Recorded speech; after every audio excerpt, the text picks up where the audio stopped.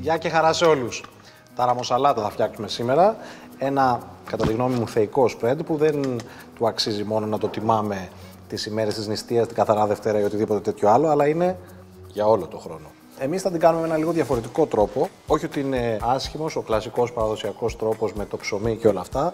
Δίνει ένα λίγο πιο ρουστίκ αποτέλεσμα.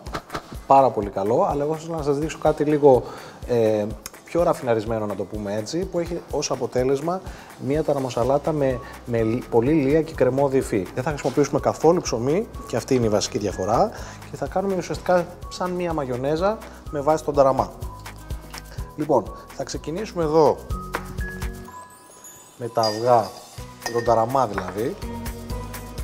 Εντάξει, χρησιμοποιήσετε καλή ποιότητα ταραμά γιατί αυτό θα διαφοροποιήσει πολύ το τελικό αποτέλεσμα προσθέσουμε λίγο νερό. Και έχουμε εξτρά νερό εδώ να δούμε αν χρειάζεται και δυσκολεύεται το blender ε, να λέσει τα υλικά ή αν καθώς προσθέτουμε το λάδι πήξει πάρα πολύ και χρειαστεί λίγο αρέωμα, έχουμε το νερό στο πλάι και λύνουμε αυτό το πρόβλημα με αυτόν τον τρόπο. Λοιπόν, τι άλλο θα μπει μέσα; Χυμός λεμονιού, μας δώσει μια ωραία οξύτητα.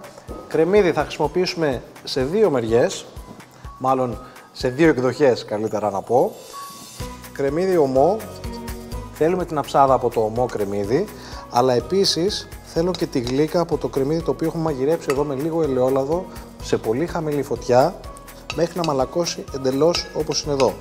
Άλλη μια διαφορά που έχει η δική μας ταρμοσαλάτα, αν δεν το θέλετε βέβαια μπορείτε να το αφήσετε εκτός, αλλά εμένα μου αρέσει πολύ η ισορροπία που φέρνει στη γεύση το τελικό αποτέλεσμα με τη χρήση και του ε, σοταρισμένου, μαλακωμένου ουσιαστικά, εδρωμένου κρεμμυδιού. Λοιπόν, τι άλλο, πάμε στην αρχή αυτά, να κάνουμε ένα πρώτο άλεσμα και βλέπουμε από εκεί και πέρα.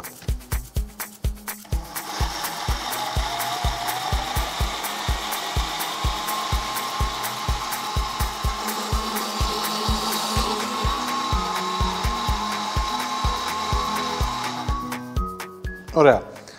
Μια χαρά έχουν ομογενοποιηθεί τα υλικά και σιγά σιγά τώρα, έκλεισα το μίξερ για να με ακούτε καλύτερα, το blender συγγνώμη, σιγά σιγά τώρα θα προσθέσουμε ένα μείγμα με ηλιέλαιο και ελαιόλαδο, χρησιμοποιούμε ε, ή άλλο σπορέλαιο αν θέλετε, πάντως δεν βάζουμε σκέτο ελαιόλαδο γιατί είναι πολύ δυνατό στη γεύση και το αποτέλεσμα που αφήνει αν βάλουμε μόνο ελαιόλαδο προσωπικά εμένα δεν μου αρέσει, θέλω κάτι λίγο πιο ελαφρύ, οπότε έχουμε ένα μείγμα από ηλιέλαιο ή άλλο σπορέλαιο αν θέλετε και ελαιόλαδο.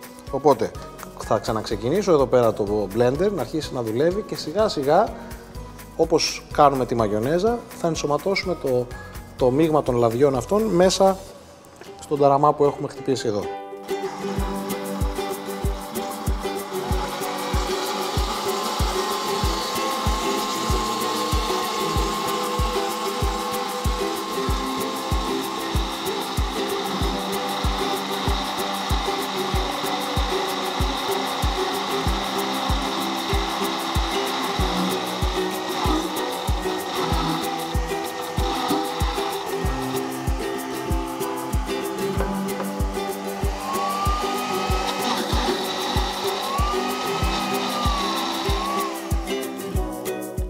Τα γκάζια. Ωραία. Για να δοκιμάσουμε να δούμε τι κάναμε εδώ.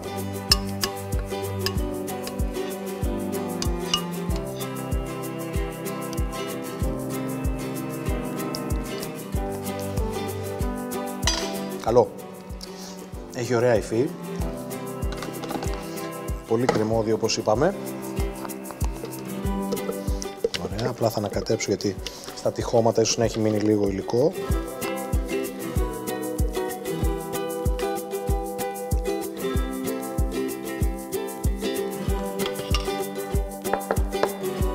Φυσικά όταν θα το βάλετε στο ψυγείο θα σφίξει λίγο περισσότερο. Εντάξει, είναι πολύ, πολύ κρεμόδες.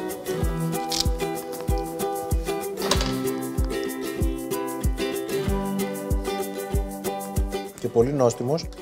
Εμένα μου αρέσει να το σερβίρω με λίγο ελαιόλαδο. Κάτι σε πρασινάδα δεν είναι άσχημο. Ίσως και λίγα ραπανάκια. Νομίζω αυτό είναι ένα dip που θα κάνει όχι μόνο την καθαρά σας Δευτέρα, αλλά και οποιαδήποτε άλλη μέρα, super. Κάντε subscribe, μια πανεύκολη συνταγή. Θα τη βρείτε και αυτή αλλά και άλλες αντίστοιχες μέσα στο κανάλι μας. Μαζί θα τα πούμε με μια ακόμα αναχταριστή συνταγή πάρα πολύ σύντομα.